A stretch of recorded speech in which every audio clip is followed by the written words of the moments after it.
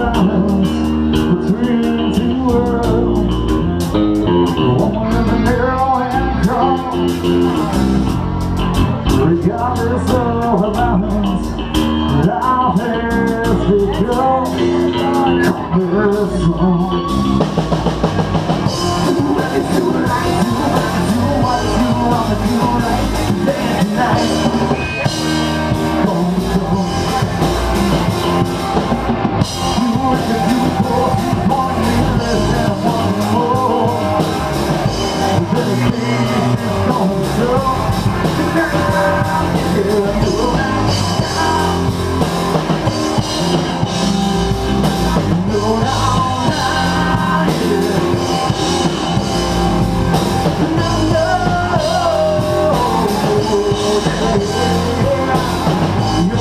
life has become so personal